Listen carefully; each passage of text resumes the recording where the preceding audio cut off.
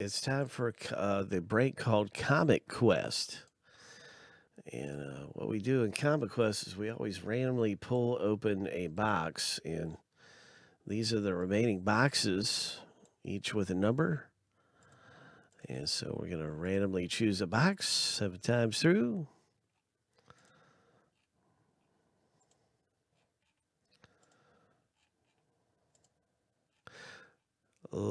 Lucky number seven. Uh, 172 will be our box that we're going to open up from Comic Quest.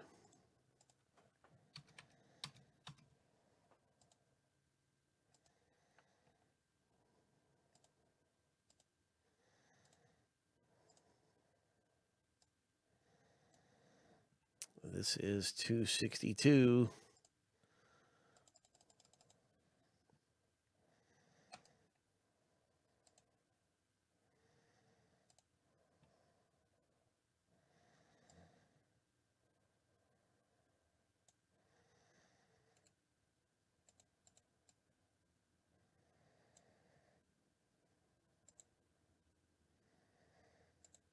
Good luck, everyone.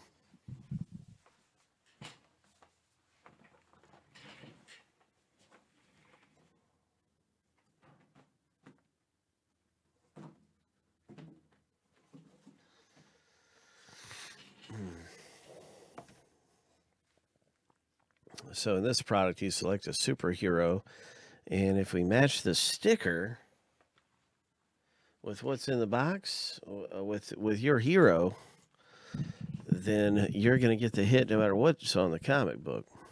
So it's all about the sticker. 172 it is.